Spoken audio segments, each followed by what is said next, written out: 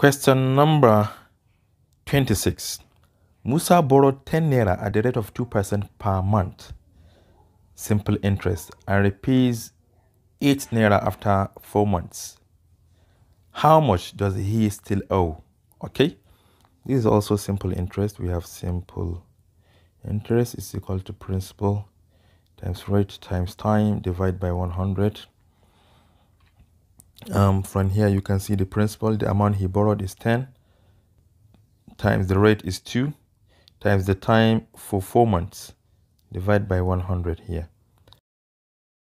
So we have 10 times 220 times 4 is um 80 divided by 100 which is equal to 0.8 so this is the interest 0.8 therefore the amount expected of him to return will be the principal plus the interest. The principal is 10 plus the interest which is 0.8 and this is equal to 10.8 but he repeats 8 so we are going to subtract this 8 from 10.8 to determine how much uh, he owes. So we have a 10.8 minus 8 this is equal to 0 uh, 2.8 and 2.8 is option C